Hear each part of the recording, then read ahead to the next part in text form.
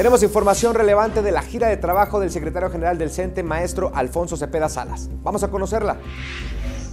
Con el fin de fortalecer su ruta de transformación y democratización, el CENTE trabaja en el blindaje del voto universal para elegir a sus dirigentes, informó el líder nacional del magisterio, maestro Alfonso Cepeda Salas, durante una gira por Chihuahua, en donde se reunió con más de 2.000 agremiados. En el marco de los encuentros de la unidad con las secciones 8 y 42 del CENTE, destacó el caso de las elecciones que, desde hace décadas, se celebran mediante el voto libre, secreto y nominal.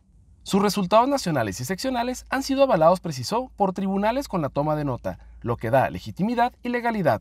Como lo establece la nueva legislación laboral, explicó, las elecciones serán con voto universal, blindadas de la intromisión de intereses, personajes o grupos que buscan beneficios ajenos a los objetivos que dieron origen al CENTE la defensa laboral y la educación pública. Recordó que el presidente Andrés Manuel López Obrador, en sus encuentros con el CENTE, ha expresado su respeto a la autonomía sindical y a sus tiempos estatutarios. Ante los agremiados, acompañado de los secretarios generales de las secciones 8 y 42, profesores Rosa María Hernández Madero y Ever Enrique Avite Estrada, comunicó las propuestas para participar en la integración de las leyes secundarias del nuevo acuerdo educativo. Finalmente se reunió con el gobernador Javier Corral Jurado, para avanzar en la solución de las demandas de los agremiados, entre estas, pagos pendientes de incentivos, reintegración de homologación salarial, pacificación y recategorización de docentes de educación indígena. Gabriel Cabrera, Cente Noticias. Es toda la información hasta el momento.